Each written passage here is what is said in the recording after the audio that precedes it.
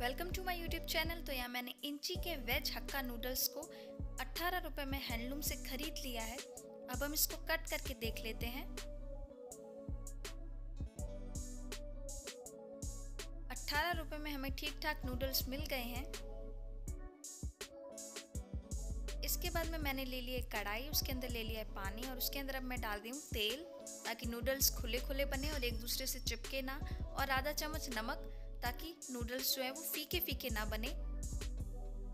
अच्छे से बॉईल हो जाने के बाद में अब हम इसके अंदर ऐड करेंगे हमारे नूडल्स अब हमें इनको भी इसके साथ अच्छे से बॉईल कर लेना है।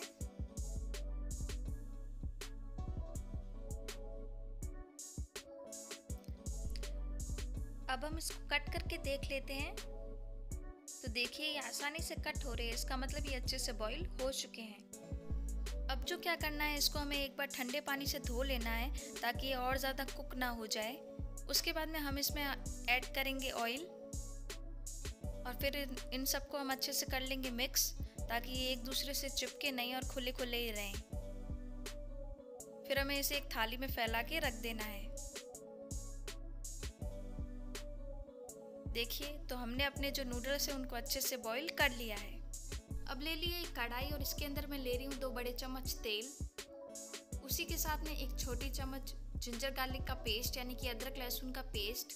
उसी के साथ में जैसे ही ये पक जाएगा, हम लेंगे प्याज, शिमला मिर्च, पत्ता गोभी और टमाटर। अब सब्जियों का कच्चापन चला जाए, तब तक हमें इसे पका लेना है, लेकिन हमें इसे एक्सट्रीम जो है वो नहीं पकाना है। अब हम इसमें ऐड कर देते हैं अपने नूडल्स।